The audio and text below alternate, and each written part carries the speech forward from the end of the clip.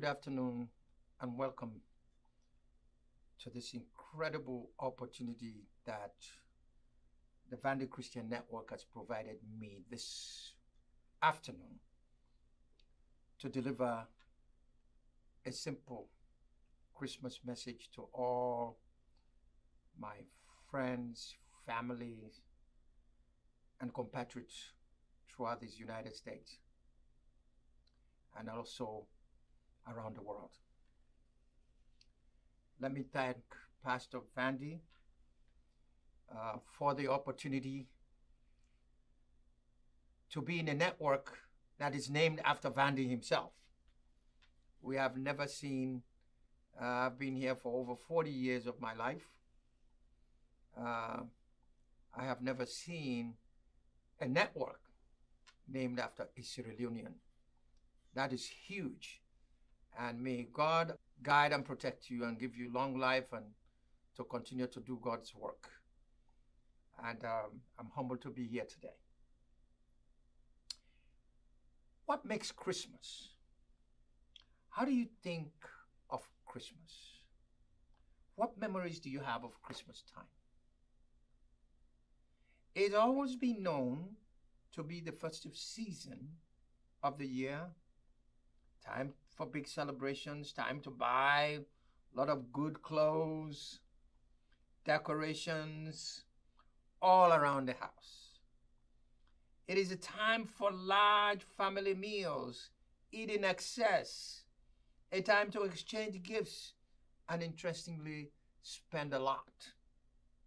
However, for the past four plus years, Christmas has taken a different connotation for our nationals in these United States. There has been Ebola, now COVID, and most recently, the tanker tragedy in Freetown. We have lost so many of our family members, close friends, and colleagues due to Ebola, the ongoing COVID pandemic, fire disasters, accidents, stroke, heart attacks, diabetes, cancer, to name a few. At this time, we bring to remembrance the memory of those we lost, especially our frontline healthcare workers, both here in the US and back home. We also remember those of compatriots in Kentucky, those who are in the hospitals at this time for COVID 19, cancer, kidney, dialysis, or any form of sicknesses or disease. Never give up, never lose hope. What does Christmas mean to you today? It might seem bleak, but there is hope at the light, the end of the tunnel. That is what Christmas is all about. Before and around the Messiah's birth, the world was desperate for deliverance from pain, injustice, sickness, slavery, discrimination, hardship, etc. People had given up hope of a bright tomorrow. They were plagued, they were tortured, marginalized because of their race, their color, and all their beliefs.